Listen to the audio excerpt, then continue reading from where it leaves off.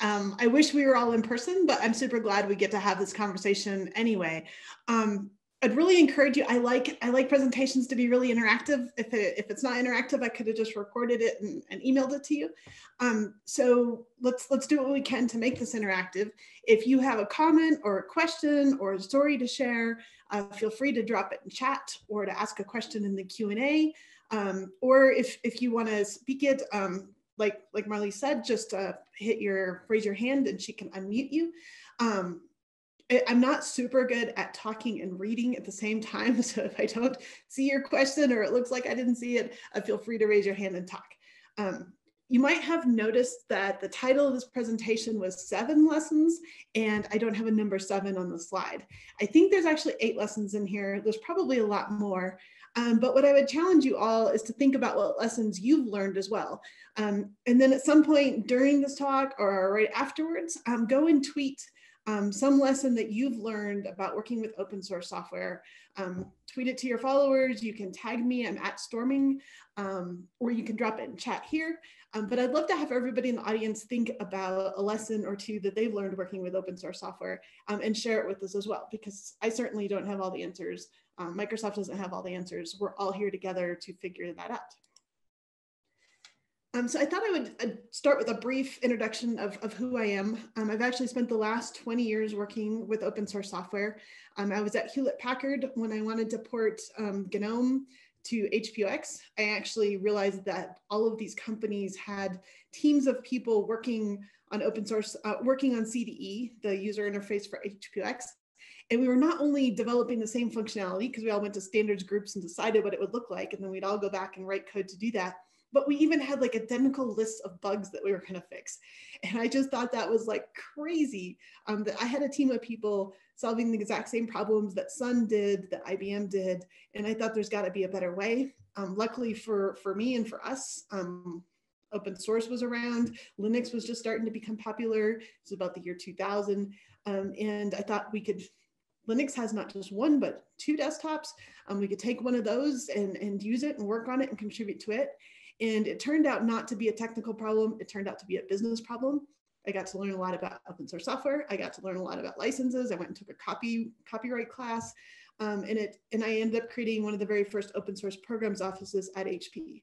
Um, since then, I've spent most of my career trying to help different groups understand each other. So helping business um, leaders understand development, developers understand business reasons, helping open source software communities understand companies and companies understand open source software communities. Why do they do it for free? Um, so I've kind of played a bridge and I've gone through nonprofits and companies and startups and large companies. Um, and now I'm at Microsoft where I lead the open source programs office. Microsoft has been through quite the open source journey. Um, they did a lot of it all of it before I got here. Um, but I wanted to share with you um, what they've done because I think it's relevant um, to many companies and to many people looking to advance open source software. And at any time, you are welcome to drop your own question or comment in the chat. So all of you are here, you probably know that open source software is here to stay, but I was looking at some of these numbers and they're, they're really crazy. They're crazy numbers. Um, there's 55 million developers working uh, just on open source software that's located on GitHub. That's 55 million people worldwide. And what's even crazier about that is 10 million of those people joined within the last year. So we've grown at like 25% just over the last year in the number of individuals contributing to open source software. And another stat that I think is, is really awesome, and maybe all of you are around the globe. I don't, I can't pull the audience and see where you're from. Um, but 80% of those contributors are not in the United States. So this is a very global community. And the stat I find even more amazing is if you take the average repo on GitHub, um, they have an average of 41 countries represented among the contributors. Um, so really, really impressive numbers. Um, like open source software isn't just here to stay. It's actually like, it, it is a thing. Um, and then I wanted to point out, this is a study that came out just a month or two ago from McKinsey and Company um, that showed that, that companies that use open source software are 30% more innovative. And I think even more important, um, and there's been a number of studies have pointed at this, um, developers at companies that get to use open source software are much more satisfied and they stay longer. Um, and, and that's because they're getting to use the tools that they, they want to use. It's more efficient, kind of like my first job where I was like, wow, I can't believe we're fixing bugs that other people are fixing the same bugs. You know, open source kind of helps us all work together and build on the work of others. Um, we even see this at interns at Microsoft. So the interns come and want to work on open source software and they're excited. Um, that's, that's one of the rewards um, of an internship at Microsoft is when they get to work on open source software. Um, so so I, I like to say, and uh, um, so I wanted to point out, in case you had any doubts, that Microsoft is experienced with open source software, and I'll talk about that in a minute. Um, we have 30,000 employees. The slide says 27,000, but we're just about 30,000. 30,000 employees who have linked their Microsoft identity to their GitHub identity. So this is a, might always be a developer, might be a developer, a product manager, might even be an executive, has taken their Microsoft identity and said, yes, I am that person on GitHub. And it's a voluntary um, association that they don't have to do.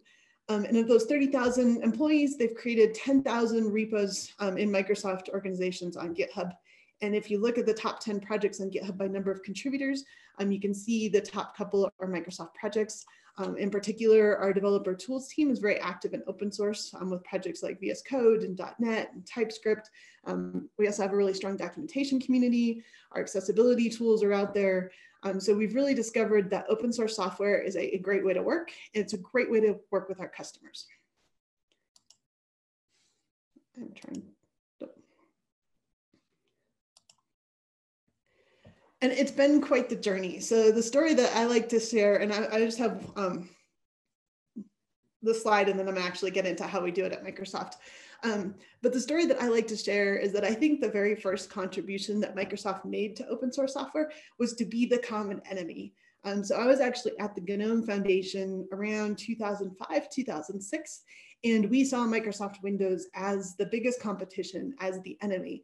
And we partnered with our open source competition. Um, so we partnered with KDE um, in order to try to beat Microsoft Windows. So that was Microsoft's very first contribution. Um, they've come a long way since. Um, we've open sourced many things. Um, we've adopted both open source usage internally as well as open sourcing things.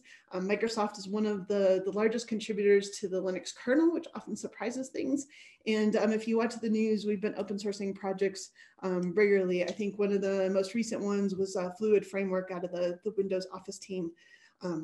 So we're, we're always constantly working with it.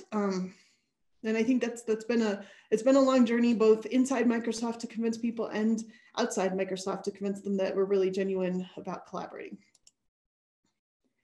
So at, how do we do that at Microsoft and, and, what lessons might we have learned that might be useful to somebody else?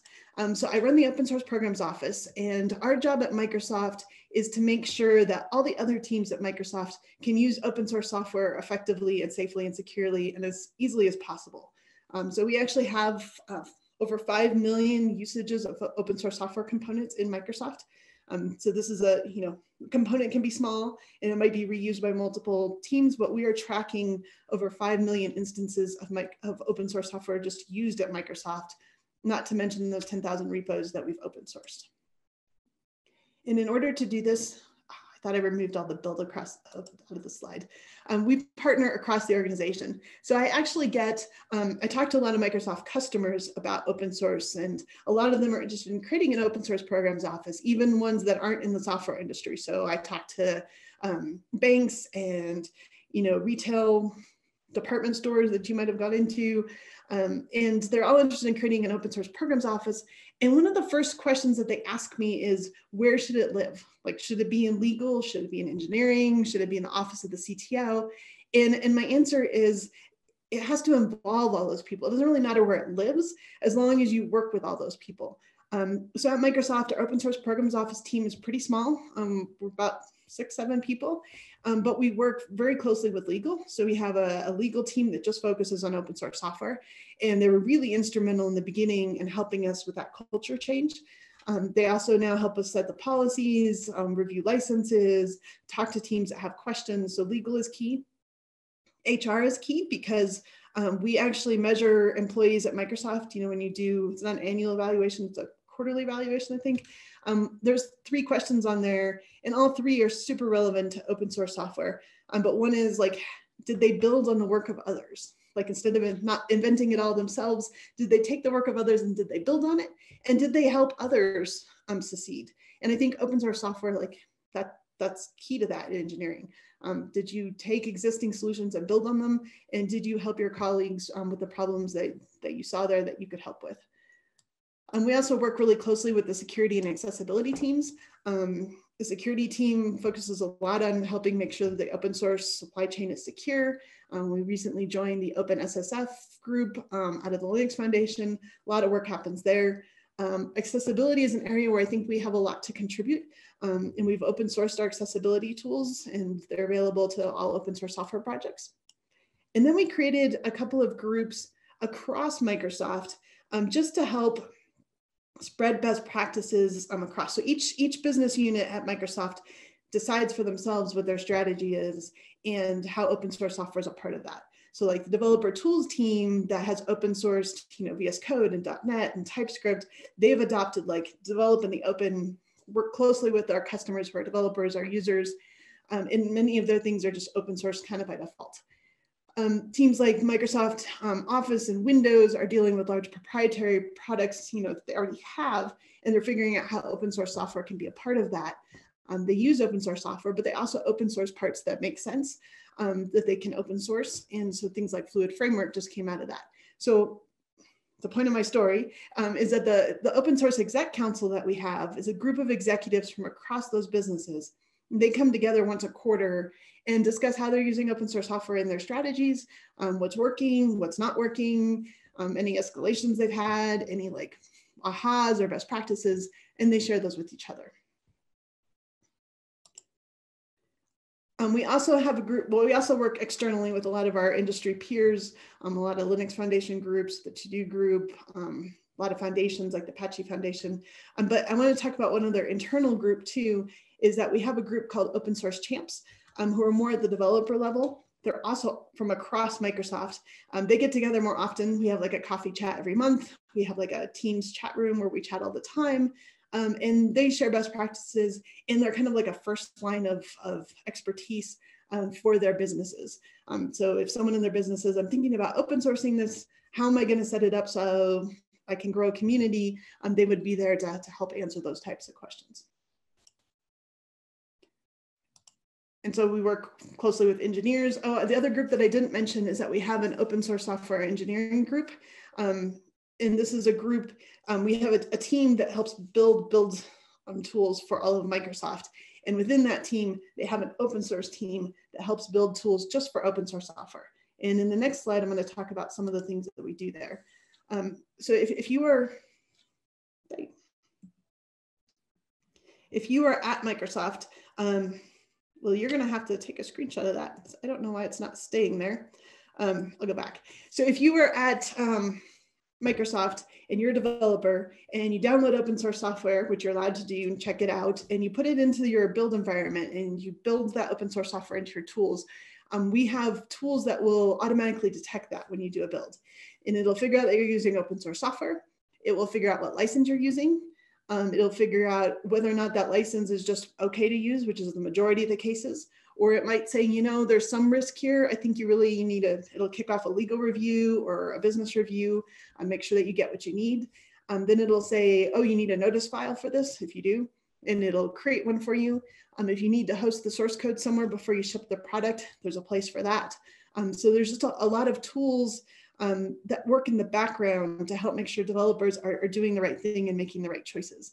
And that's really key because when someone's using open source software, you want to make life really easy for them. You don't want to tell the developer, oh, if you want to use that library, um, you're going to go have to fill out a form and request to use it and wait two weeks. And, you know, then maybe you can use it. At that point, they've picked another tool. They've moved on. Um, they're not interested in anymore. So our tooling is really to help them be able to just download that library and start using it. We'll kick off reviews if needed. We'll figure out the licenses, um, but let them keep doing their job and keep building awesome software. So once again, quick look at that process and what it looks like in a visual. Oh, that time it's going to stay. Um, and then what we've done is, is try to share many of these tools um, with the world.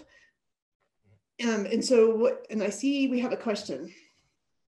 Has Microsoft thought about open sourcing their open source detection? I'm just about to talk about that. But yes, we have um, some parts are easy to open source and some aren't. Um, so it's actually multiple tools that work together. Um, so on the Microsoft open source portal repo on GitHub, um, there's actually a lot of um, projects that we use, not so much to detect open source, but projects that we use to help Microsoft employees um, on GitHub.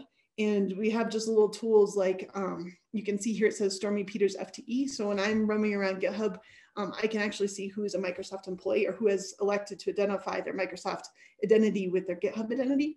Um, that's often useful, especially if there's like a if there was like a code of conduct violation and I got a notice of it on a Microsoft project, I could easily go to the project and see who's a Microsoft employee who could maybe help me out um, and answer that. Um, so it's often useful. So there's a bunch of tools there everything from like detecting that there's no admins on this repo that we're, we're supposedly maintaining, or that there's 200 admins, which is kind of a security issue. Um, so we have a bunch of tools there. Um, on the detection side, we've actually created um, a couple of larger projects um, that we're collaborating with others. So clearly defined is the project um, where we figure out what license a package is under.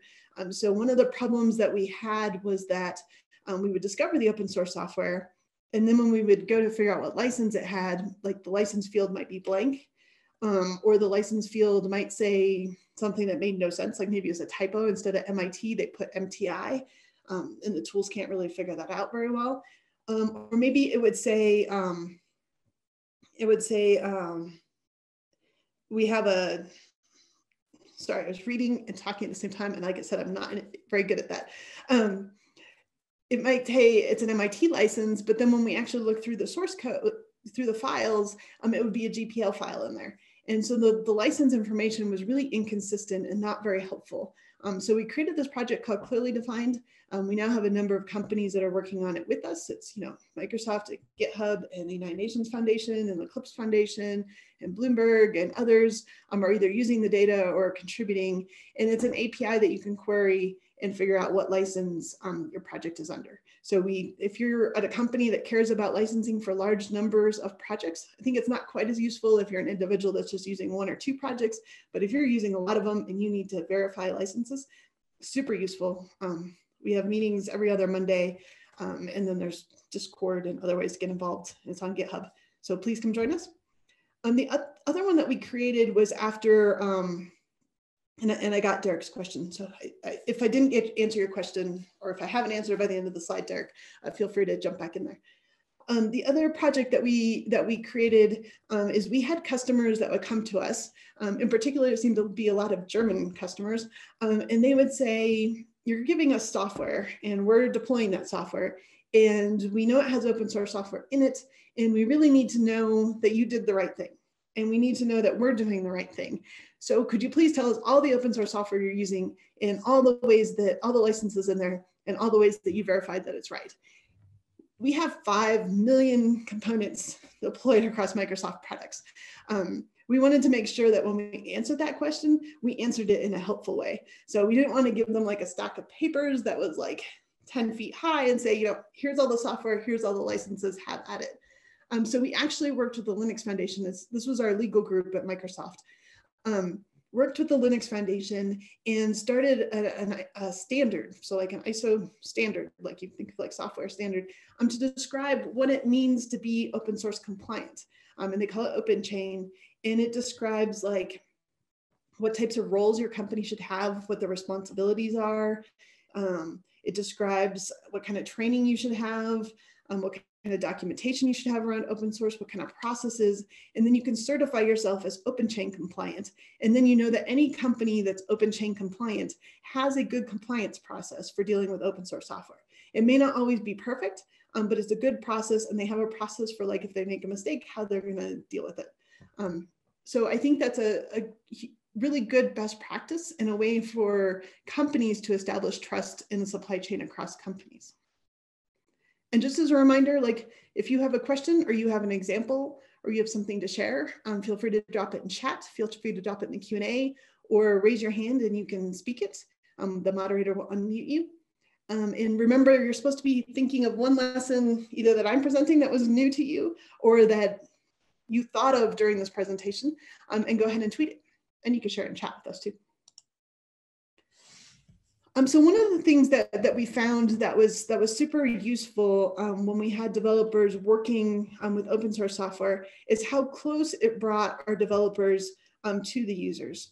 So at a, at a company like Microsoft, you know, we have 50,000 developers who are writing software and they don't they don't all normally talk to the customer directly. Um, so there's a number of paths that information gets from the customer to the developer. Um, for example, the, the, sales team gets requirements and requests directly from the customer. Um, those trickle back into the developer, probably through product marketing. Product marketing often gets to go out to the customer and ask questions about how they're using it um, and what the, they found and what they like and what they don't like. Um, and they're very good at coming back to the developers and, and presenting that and sharing that customer information. But again, it's secondhand. Um, the support team definitely works very closely with the customers and I don't have a slide on that, but the how we do support in the open source software world is, is actually really interesting because um, a lot of developers end up coming to the GitHub repo for support um, instead of through our normal support channels. And how we deal with that and how the support team deals with that is, is quite interesting. Um, but in the open source software world, the developer, instead of getting all of their information from the customer through those three or four different channels, they are actually, the customer can come find them in GitHub and ask them a question. Um, and that's really good. Um, it's, it's rewarding to our developers. Um, they're more likely to stay and work on the project when they get to see and hear how people are using it. And it means the feedback from the customer is not filtered through anybody else's lens or ears um, before it hits the developer. It also means the customer could suggest a change in a pull request um, or actually help vet ideas as they come out so that we quickly um, know whether an idea is going to work for them or not before we spend a lot of time developing it, packaging it, shipping it. So the connecting developers to users has been really, really key, um, a key way that open source software has helped us across our development lifecycle. Um, so we have a, a, question from an attendee that says, in our organization, we have a process called third-party approvals, which is a manual process. We have to go to a tool and create the approval process, and there's a legal team that looks at each third-party tool or library and approves it. It takes a great amount of time creating one by the developer and takes two weeks for the approval team to approve. How can the tools that you explain help reduce this time? Yeah, so when we detect open source software and we detect the license, um, a large number of them we have decided do not need approval. Um, and our, our, tooling helps us feel confident that we really know what license the, the project is under. Um, so if, if, um, if the license is under like an MIT license, we just say, okay, you're, you're free to use that software, you know, and it doesn't, we also have a list of like software that's flagged for different reasons. If it's not flagged for any reason and it's under MIT license, you can just go ahead and use it. Um, if we found out it was a GPL license, we would ask you a few more questions. The tool would ask you a few more questions. So it would ask you, um, are you planning to ship this? How are you building it? You know, we have a few questions to determine whether or not um, the copyleft clause is invoked or not. Um, and if it wasn't clear or if it was the copyleft license was invoked, then we would kick off a legal review and a business review because we would want the legal team to actually look at it and we would want um, the business lead for that, that group to, to verify that that's really what they want to do. Um, or if it was a license, if we didn't know the license, um, first of all, we would open up an issue. The tool would open up an issue to, or the developer themselves could do it um, to go investigate what the license is. Um, but we would also kick off a legal review so that somebody from the legal team could help figure out the license is. So I don't, I don't remember the percentage off the top of my head, but it's, it's over 80%, probably close to 90% of usage just gets approved by the tool and the developer doesn't even see that. Like it, it's just part of the build environment, one of the tabs that has information about open source software, they could go look at it if they wanted to. Um, so by taking that number down to a much smaller number, it's, it's much faster for most use cases. Um, then the tooling itself actually clicks off, we might ask them questions, but they don't have to go to a tool um, to request to use it. When they use it, it says, hey, you need to ask permission if they do, um, and it kicks off those reviews. So I, I think that answers your question of how for us, tooling is, is making it much faster. Now there is a manual process. So if you want to explore it, something before you actually download it and build it, or you want to open source something, you can go to the approval process tool and, and fill out an approval process. I'm sorry, I'm not using the right words here. You can fill out a ticket and, and it, get, an issue and it gets sent off. The, the other thing um, that we've found is really helpful when building open source software into our strategies, um, and I talked about this, I alluded to this earlier, is, is giving a lot of autonomy. So we give autonomy to the developers. Um, they can decide what open source software they want to try out and explore, um, and they're free to download it. Um, I'll talk about our open source software policy is completely documented and online for anyone to see. So if they have a question about, is it okay for me to do this? Um, they can go read the, the policy and see if it's not clear there. We work really hard to make it clear, but if it's not, they can ask the open source champs um, or they can drop us a, an email in chat or an email. We also give autonomy to the different business units, which I also talked about. Um, so the Windows Office team can, can figure out what makes sense for them. The Xbox team can figure out what how open source software fits into their world and what makes sense to them, because the gaming industry is probably very different than the office productivity team. Um, the developer tools team develops their own strategy and policy. Um, so each, each business unit has autonomy to decide how open source software fits into their strategy. And each developer has autonomy to decide which open source software is useful to them as they develop the software, as they do their jobs. So I said we, we have an open source software policy at Microsoft.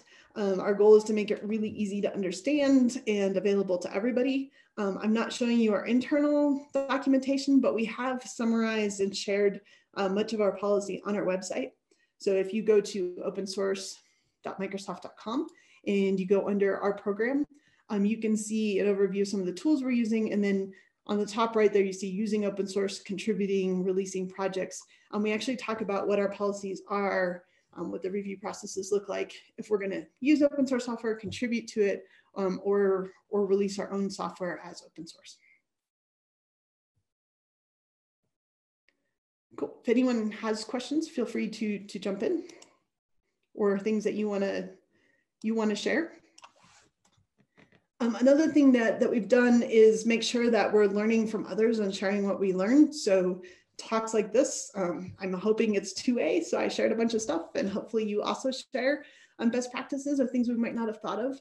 Um, one of the places where we share a lot of open source programs office type information like review process and compliance um, is at the to-do group. The to-do group is a group of Linux Foundation member companies um, that all of these, most everyone in the to-do group actually runs an open source programs office.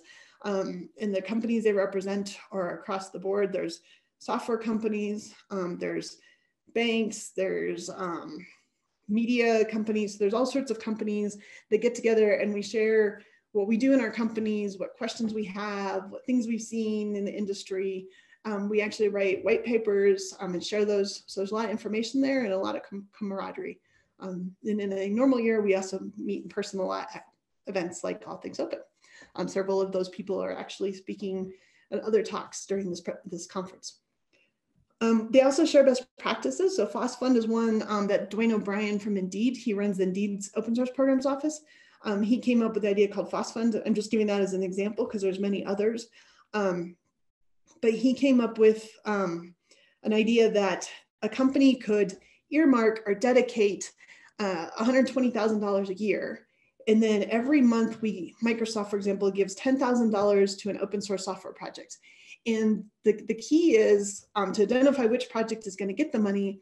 We ask our developers who are contributing to open source software to nominate and vote on the projects. So the $10,000 goes to some project that Microsoft employees have said, this project is important. Like I work in open source software and this project is important to Microsoft, is important to me, and could really use $10,000 to send developers to conferences or um, to buy a, a new computer system or to hire a part-time sysadmin, whatever, whatever it is they would like to do. Um, so ideas like that also come out of that group. Um, and then um, there's a lot of foundations that we're part of. You probably heard of a lot of them, but uh, foundations are a great way, a great way to do a number of things. Um, so foundations allow us to meet and talk to other people that contribute to the project, um, which is really important. Um, and they often have annual events. You know, ApacheCon is where the Apache group gets together. Um, Linux has several events. Um, there are ways for us to meet and talk to people. There are also um, ways to clarify how, how the governance and working together of those projects happen. Um, it's a way for us to financially support the projects. Um, it's often it's easy to not easy, but it's easier to sign up for a subscription and say, you know, this is membership um, for the Linux Foundation than it would be to like go around and, and hold out our hands and ask for $5,000 for this and $1,000 for this. It's easier to like join a membership. And it's a way for companies to very clearly clarify how they, they work together. And it's a way to support efforts like marketing efforts or events or things that might not um, be easily done within the, the project's technical infrastructure. Um, so foundations are really important and one of the ways that, that we um, contribute back and get to participate. So there's a question from the audience on how do you make sure that competitive secret IP is not accidentally open sourced or that your patents are not granted via open source licenses that include a patent grant? Um, so we do, if we open source something, we do do a lot of review on it. Um, some things that we have been asked to open source, um, Microsoft Money, for example. Everyone would like us to open source Microsoft Money. Um, they're often were developed with other companies' IP, or I don't know about Microsoft Money in particular, but they have other companies' IP, or we develop them in partnership, um, and we can't. It's it just would take a ton of time to go back and verify that all the intellectual property was okay for us to open source. Um, and especially in something that we don't know if there'll be a community, it's not a product we ship anymore. Um, so sometimes we always do a lot of research. And so that's part of the decision on whether or not we open source something. Um, so like when we open source Fluid Framework, we did a lot of, you know, we analyzed all the code and made sure that it was all ours and that we could license it under the license we picked. Um, on the patent side, um, same thing would happen, there'd be a review, um, but, but Microsoft is actually part of the, the open OIN, Open Innovation Network. Um, we have patent agreements um, that support Linux and open source software. So I encourage you to go out and look at that. Um, Microsoft is one of the, the supporting members of that. And in a way, it makes parts of our patent portfolio available to support open source software in Linux. And then I just have a, a last um, lesson to share. Hopefully you saw seven lessons there. Maybe you saw eight, maybe you saw more. Um, I'm gonna ask you about that. Um, but one of one of the things that I think we found is really important, and I alluded to it when I said we worked with HR, um, but that's making sure that we are rewarding our employees for working on open source software, especially when you're at a company that doesn't traditionally have a lot of open source software contribution culture. It's important to make sure that you're doing things that make your culture more open source friendly. Um, so during the evals that we do, we ask, have you built on the work of others? Have you contributed to others' work? That's very open source friendly. Um, open source is officially um, recognized and documented in the developer skill set. And there's training available to all developers on how to use GitHub or how to build open source software communities. Um, we've also built the open source champs to help answer those questions. Um, we try, we're doing a lot of work to try to make sure that we are rewarding um, people using open source software in their in their day-to-day work um, and in their strategies and i think if you don't do this piece um, no matter how good you say it is um, people are going to continue doing what they're what they're motivated to do um, what they get rewarded to do um, what their managers say great job for um, what they get a bonus for so we're trying to make sure very consciously make sure that we're rewarding open source software because it's good for both our employees and for the community and for our customers um, I didn't share at the beginning that Microsoft's mission is to enable individuals and organizations to achieve more. And I think open source software fits so well in that. Um, so the Open Source Programs Office mission is to enable individuals and organizations to achieve more through open source software, because that is definitely a tool um, that can be easily used to help people achieve more in the world. And we're all building on the work of others. So that is what I had for, for presentation and for lessons learned at Microsoft that I wanted to share with you. I am curious, um, for those of you in the audience, what lesson have you, what did you get out of this presentation or what lesson have you learned um, in your company or in your work in open source or what questions do you have for me? So we have 10 minutes for Q&A. I'm not gonna keep talking for 10 more minutes. So one of you has to ask a question or share something.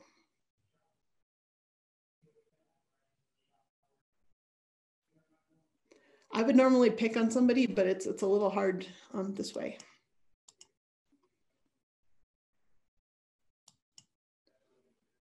Well, if there's no questions, um, that is my Twitter ID there, storming. So you can go to twitter.com slash storming. Um, you're welcome to ask me questions there.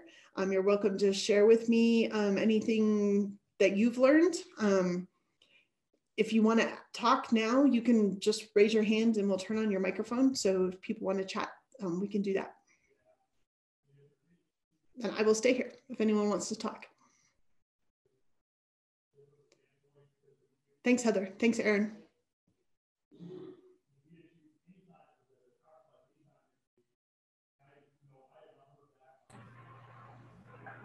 All right, we got one Q&A in the Q&A tool. So the question is, what's one thing you want to change about Microsoft's open source program for next year?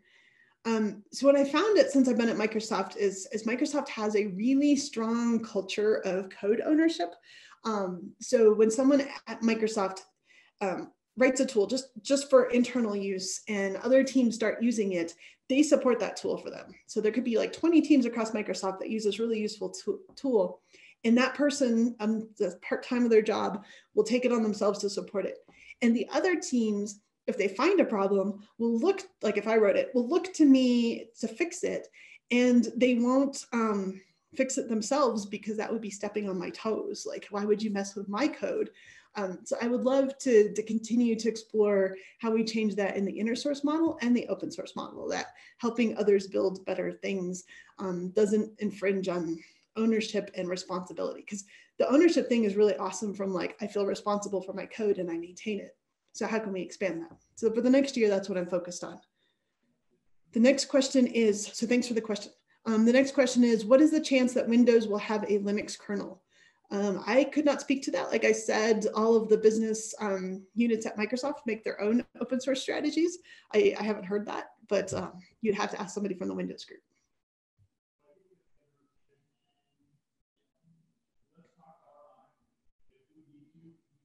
Cool. Any other questions or comments?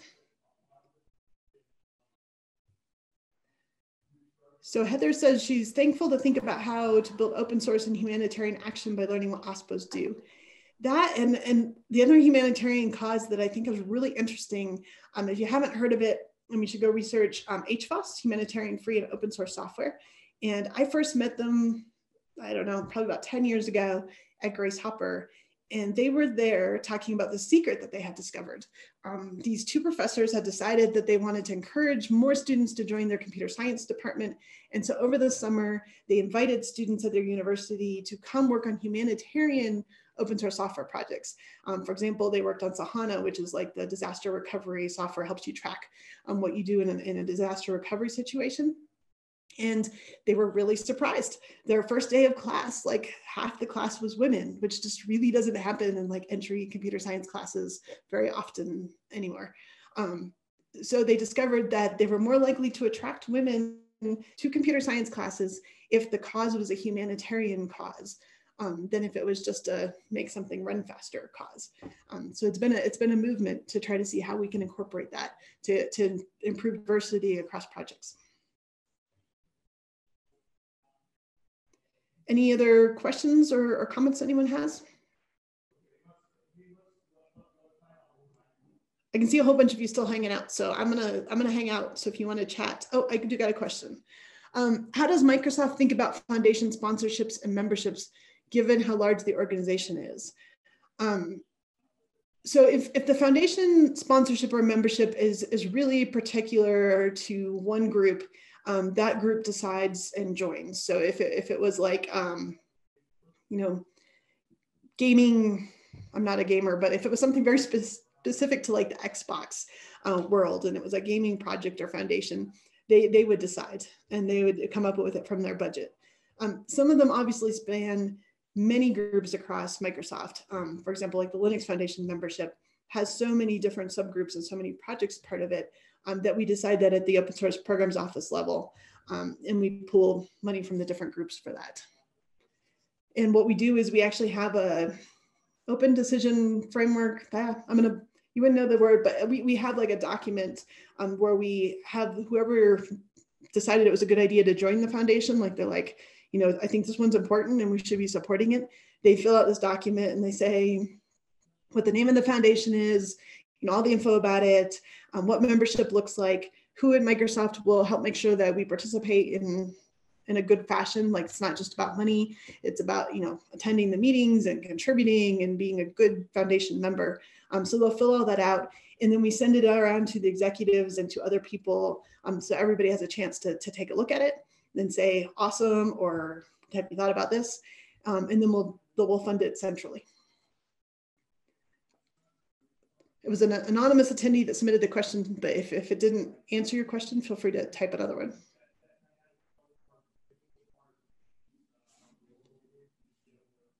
Any other questions or comments or things you learned? I'm not trying to follow Twitter because like that would be too much to talk and read and follow Twitter, but hopefully you're sharing things you learned there as well.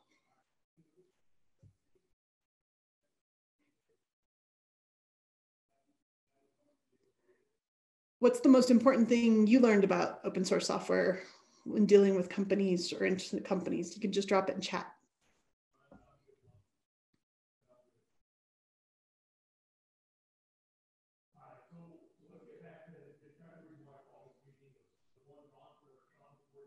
So we have a question. Um, if you have a product manager who's suspicious regarding open source, what is your best argument to convince her or him? Um, I, I, think the key to talking to people who are skeptical about open source software is, is obviously, and you've probably thought of this, to figure out um, what, why, like what, what are they suspicious of? Um, for example, I worked in a previous job, um, I worked with a salesperson who was just really baffled about why people would work in their free time on software. And I eventually told him I thought he was missing two pieces. Um, one, he was missing how much fun it is to write software. So I, I, I tried to make analogies to writing software to hobbies that he might have, you know, how it's about solving problems and, you know, making puzzles or creating arts. You know, part of it is just like, it's, it's a fun way to solve a problem. And then I talked about the problems that they were solving, like why they were willing to give up their free time. You know, people volunteer for all sorts of causes, like building houses or um, helping out in nursing homes. And so I tried to equate like the problems they were solving, that's how they volunteered their time. In his particular case, it wasn't about like why open source, it was like, why do people do this for free? Um, so I think that the key is, is getting to know them well enough to understand like what it is they're skeptical of or what it is that they're afraid of. Anybody else have, have any suggestions or, or ways that they would deal with a, a suspicious product manager or product manager suspicious of open source? So one of the comments says, and you guys can probably read this, or you all can probably read this. Um, often people who don't understand open source are very concerned about security. If you could see all the code, how could it be secure? And I, I actually think there's a lot of good work that, if that's the case, you could point them at now. Um, like a lot of people working on the secure supply chain and authenticating where it came from, and you know being able to verify that it is what they created. Um, there's even work on on helping understand who worked on a project. There's a lot of good work there. Any other suggestions for, for Holger or for any other questions or any other things you learned? I see Heather, Heather said she learned to, has learned um, to be tenacious and do your homework.